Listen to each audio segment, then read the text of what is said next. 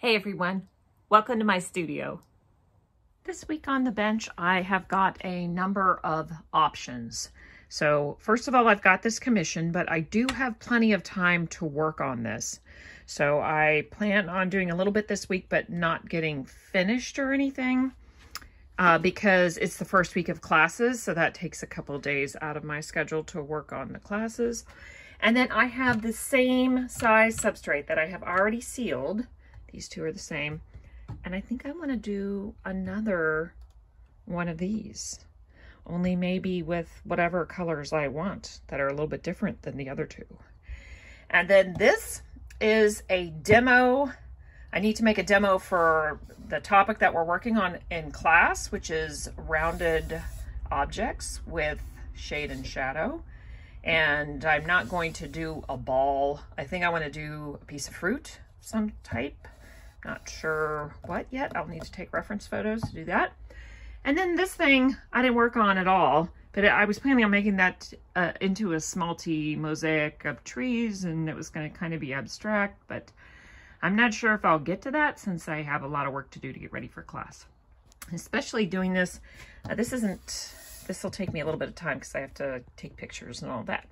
That's it.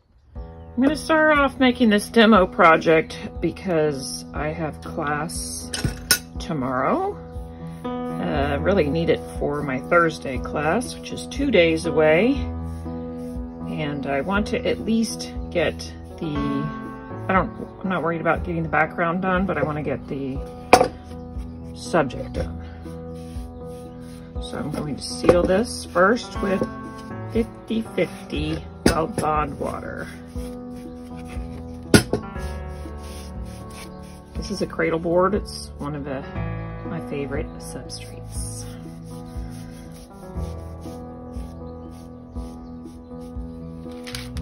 I have my black and white image of an orange and I have put carbon paper underneath so that I can trace the shape.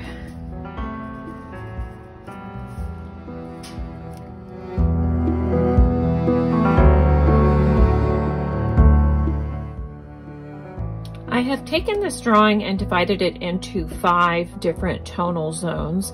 And then I created a value scale with my oranges for the orange and divided it into the five tonal zones with uh, more variation in these middle zones with the colors I can use. And now I'm ready to start gluing.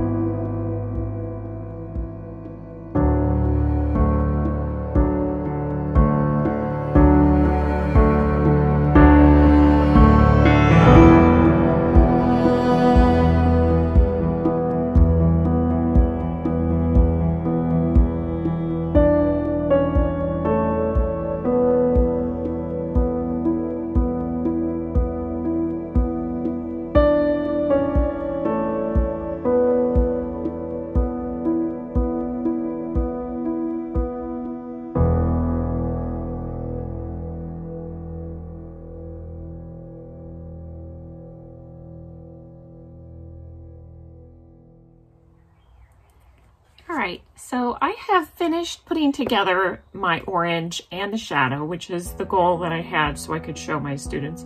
And I just want to point out that I followed a certain technique where you draw lines and you have different tones and you fill them in. And I would say that the only thing that's not working for me is sort of this transition between these two areas. I may actually pull up this lighter area because it really needs to start dark and have just a slight bit of lightness. So my reference line was a little bit off, but this is the area that I'm talking about. It's much darker than how I made it, even though it's reflected light. And I used my little key here. I think I, that I have made it just a little bit too light. And so the contrast between the two areas is just a little bit too much.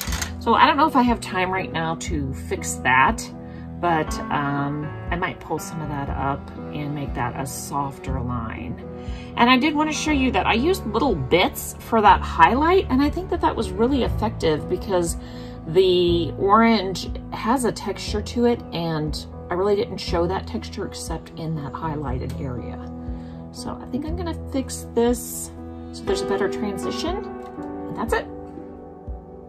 To pull some of these pieces up, I am going to spray some water in there. Now I have just glued this today, so I'm hoping it's not too incredibly dry on there. Weldbond typically takes a good 24 hours to cure. See that piece came up okay.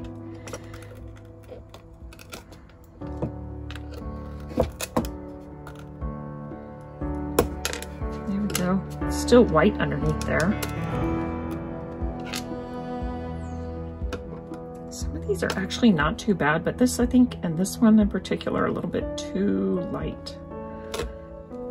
I'm not gonna, I don't wanna go as dark red as this but maybe somewhere in there. Lighter than this side right here.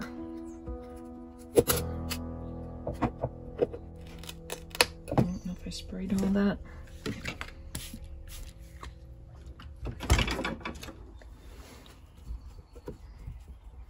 do want to get the excess moisture off there so you don't reconstitute the pieces that you don't want to move and accidentally knock out other pieces. I can tell I just kind of loosened that one.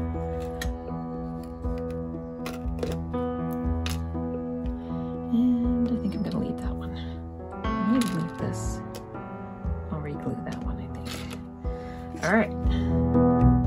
I ended up going with a much more muted orange color and I think it looks much better. Took me a couple days though to get it right.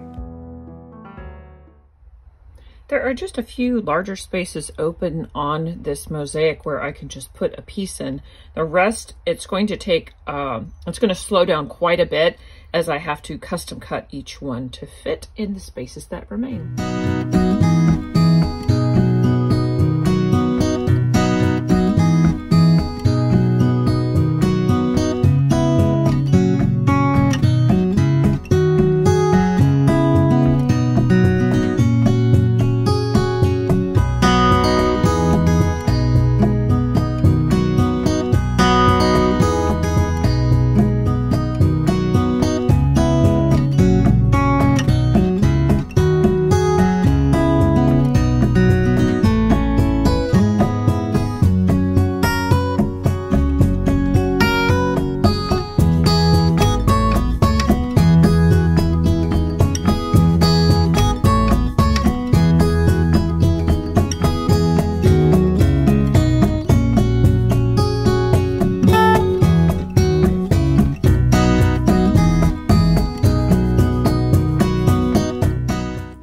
Close to the end of this project and what I like to do at this point is view my project from a low angle so that it, well if I cover up this part, so that I can't see the gaps and just make sure that I am achieving the look that I want. It does look pretty good. I think I like it. Still have some more pieces to go though. That's it.